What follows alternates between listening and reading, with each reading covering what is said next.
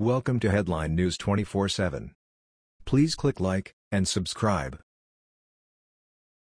Donald gives Melania her birthday present early, shows what kind of man he really is.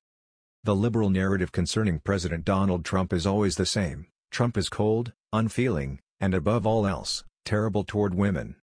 Forget the huge number of ladies who proudly wear Women for Trump t-shirts, leftists want everyone to think Donald is nothing more than a misogynist pig.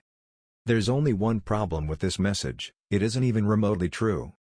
And every time we turn around, our president is something else to prove liberals wrong about his personality and his attitude toward the fairer sex. First Lady Melania Trump's birthday is coming up quickly, April 26, and we're assuming she's in line for some pretty glorious gifts.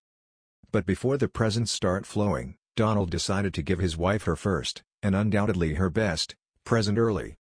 In an email the president sent to the Make America Great Again committee this week, he said, via Breitbart, Family is one of life's most wonderful treasures, and serving as America's first family has been a truly great privilege.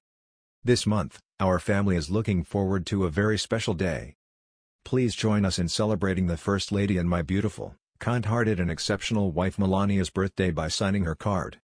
Melania is my rock and foundation, and I wouldn't be the man I am today without her by my side. She's the cornerstone of our family, and an incredible mother to our son, Barron. I'm so proud of her accomplishments, and I hope you'll wish her well on her special day. Are those the words of a cold-hearted misogynist? And despite the barrage of attacks the First Lady has suffered, it remains true that Melania is a fantastic role model for young girls everywhere. As LifeSite reminds us, the president is in rare company in touting the many attributes of his Slovenian-born wife.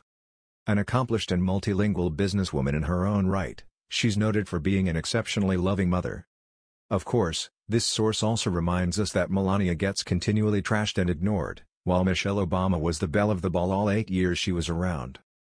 But then again, that's just another of the many double standards infecting the liberal agenda, isn't it? That was the news.